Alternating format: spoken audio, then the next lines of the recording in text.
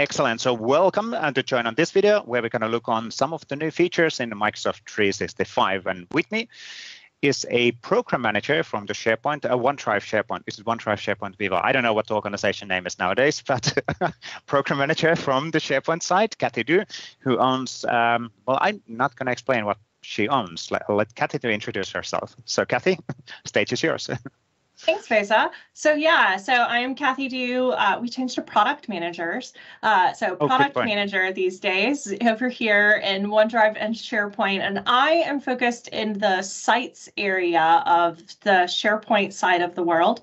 Uh, and so what does that mean, the sites area? So I focus in a lot of the core components that cover across all of SharePoint, um, how SharePoint is connected to Teams across Viva connections, places where you see those core components, branding, navigation, headers, footers, and then a lot of that core functionality for your sites themselves.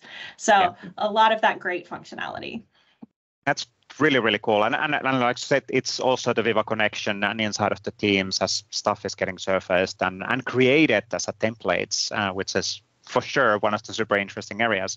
Now, in this video, we wanted to focus a bit more on the on a SharePoint online side and an app bar. Can you talk about what is a SharePoint app bar? Yeah, so the SharePoint app bar was introduced a little over a year ago, and the app bar came out, and it, it is a left vertical navigation component added into all modern SharePoint sites.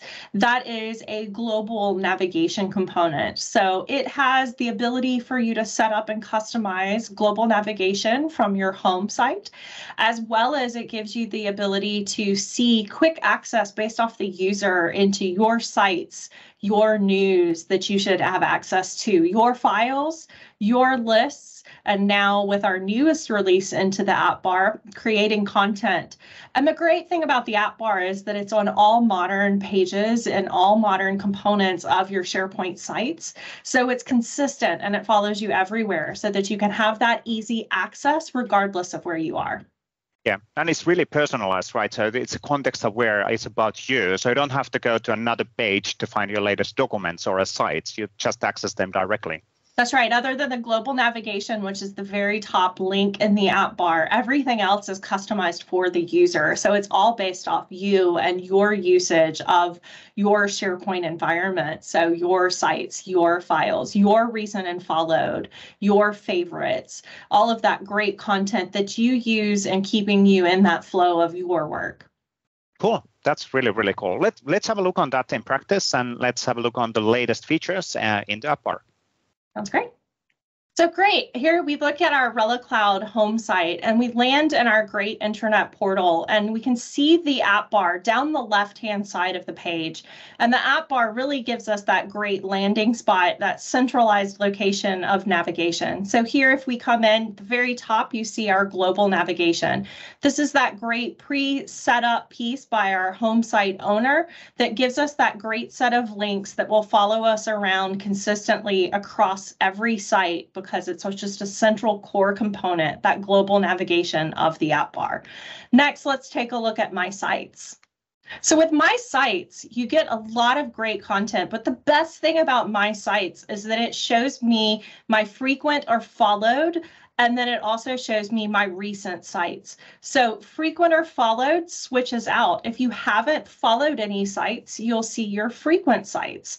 But if you have followed sites, those would show up at the top in replacement of frequent. But recent sites also shows up. So it allows me easy access to all of those great sites that I've recently visited. So giving me quick ability to navigate around my intranet based off where I've been and what I've been involved in. So really great way to quickly get around the intranet and remembering where I've been and what I might need to get back to quickly.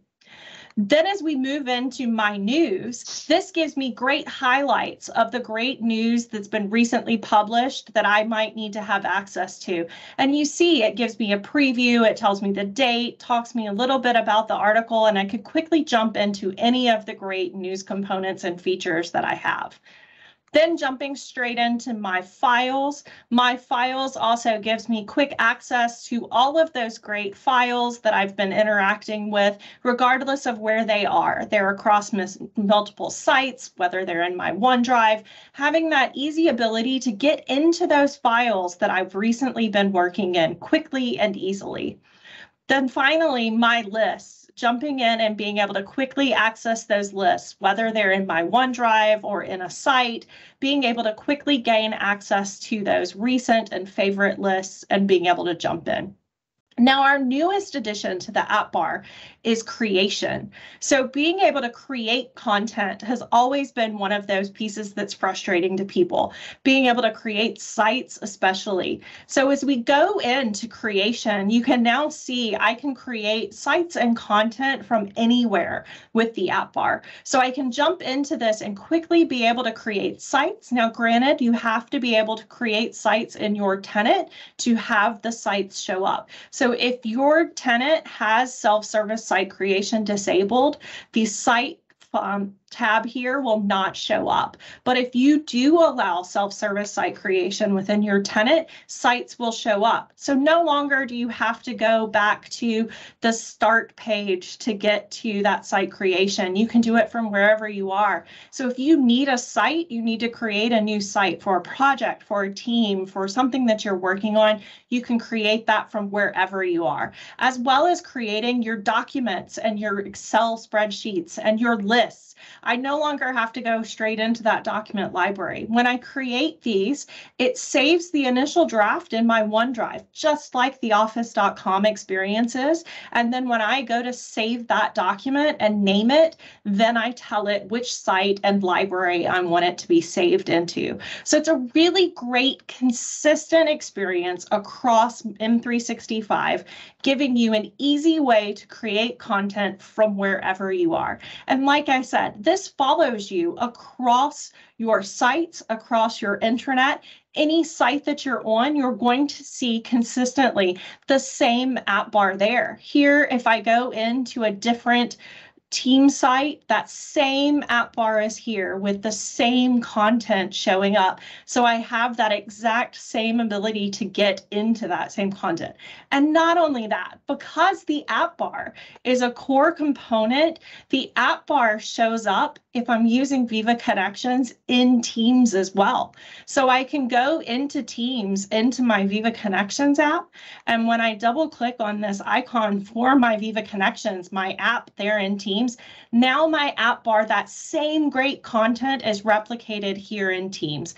And you can see how the app bar plays such a core vital role for SharePoint, for your intranet, and giving you access into that content that you really need. So we're really excited to have creation be a part of the app bar, giving you the ability to create content easily from wherever you are, as well as to see more people using the app bar and being able to navigate and get access to what they need. So that was actually really, really cool. And it's it's great that you actually showed how it gets integrated across the sites. And again, it's it's everywhere you are you are in the SharePoint Online, including the Viva connection. So if you're in Teams, you can get access on that information as well. That's that's really, really great. Um, any any new features which are coming up? That that's kind of the situation what we have right now as we are recording this in autumn 2022, or maybe we can say September 2022 to be precise, because we're rolling out all the time new features. But anything what's coming up, um, uh, what what what the future will bring? Yeah, so with the app bar in creation, you might have noticed an aspect missing. So right now, we do not have the ability to create pages and news as a part of the app bar creation experience, but we are actively working on create for pages and news. And so you will see creation for pages and news coming in the near future. So we're looking at potentially sometime in the January 2023 timeframe is currently what we're looking at. Um, and so we're looking to have that be the next piece of this. So then being able to create sites, content, pages, and news from anywhere. So really exciting to be able to create that um, content from everywhere and to have pages and news to help us complete the creation cycle. That's really really cool and, and awesome work. And it's, it's great to have those new features coming up as well. But thank you Cathy uh, on joining on this uh, quick intro on the on the feature. Um, and this is probably it's super valuable for sure uh, for customers and partners to understand what are the new features and capabilities which we have